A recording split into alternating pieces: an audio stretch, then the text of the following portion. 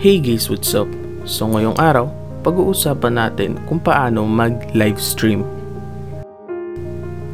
So, ano nga ba yung live stream? Live streaming is a type of streaming in which audio or videos is broadcast live over the internet. The media is transmitted while it is recorded, allowing viewers to watch or listen to it in real time. So this is the different types of live streaming. Meron tayong Periscope, Facebook Watch, YouTube Live, live streaming, Twitch, and Mixer. Bali ang gagamitin nating software for live streaming ngayon is yung OBS Studio. Kasi yung ibang software naman halos alam nang gamitin ng iba tulad ng built-in live streaming sa Facebook Bali ngayon, gagamit tayo ng third-party software which is yung OBS Studio. Ano nga ba yung OBS?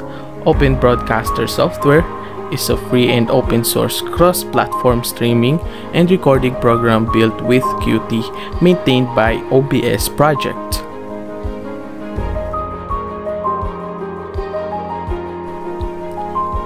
Step 1. Install the OBS through Google for free. Una, kung wala kang OBS na naka-install sa PC mo, madadownload mo naman siya through Google for free.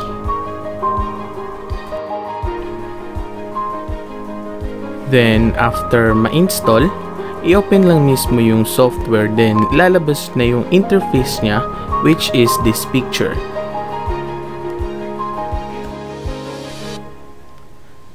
After that, sa baba bandang kaliwa, makita yung source katulad ng nakikita natin dito sa slide na ito. Sa step 2 naman, um, pwede tayo pumili ng iba't ibang video capture. For example, you want to stream as a gamer, you can pick the game capture If you want to stream a different window, you can pick the window capture. If you want to stream what you are doing in your own PC or laptop, you can choose display capture and etc. Step 3, kung pinili natin yung display capture, ito yung makikita natin.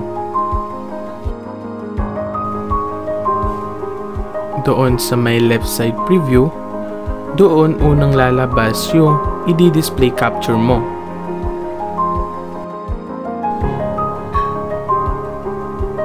Step 4, lagi natin tatandaan na i-slide natin yung picture na ito. Bali pag nag-stream ka ng hindi mo pa na-slide ito, hindi lalabas sa live stream mo yung mismong video display mo.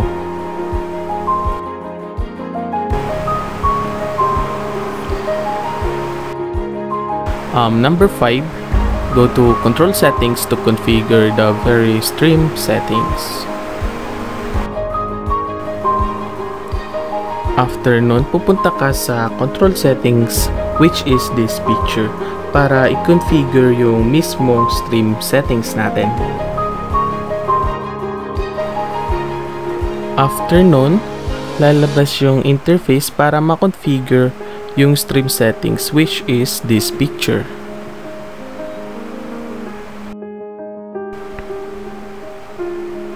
Step 6 natin is mamimili tayo kung anong platform tayo mag stream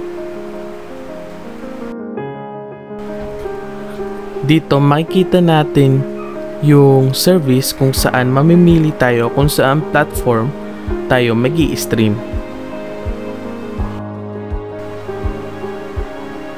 For example, pipiliin natin yung YouTube or yung YouTube Gaming.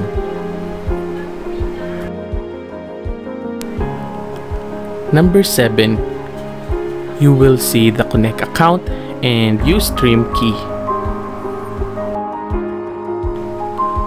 Sa picture na ito, gagamitin natin yung Use Stream key.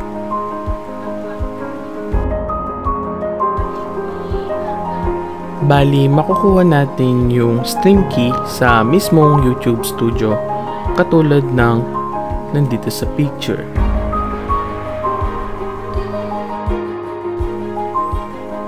Eight, copy the stream key and paste it in the OBS stream key.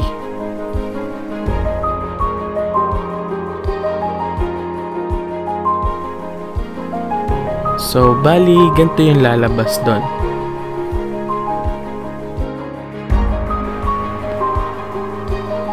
Then, ipipaste natin dito yung stream key natin. And then, ganito yung lalabas.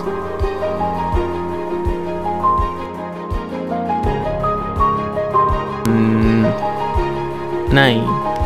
Click apply and then click OK. So, dito na natin i-click yung apply then OK. Number 10. Go back to the control settings and click start streaming. So, sa control settings then click natin yung start streaming.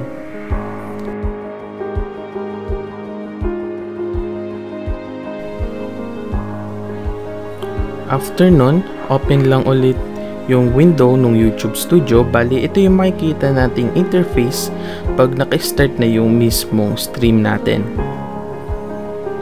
So, that's it guys for this video. God bless and thank you.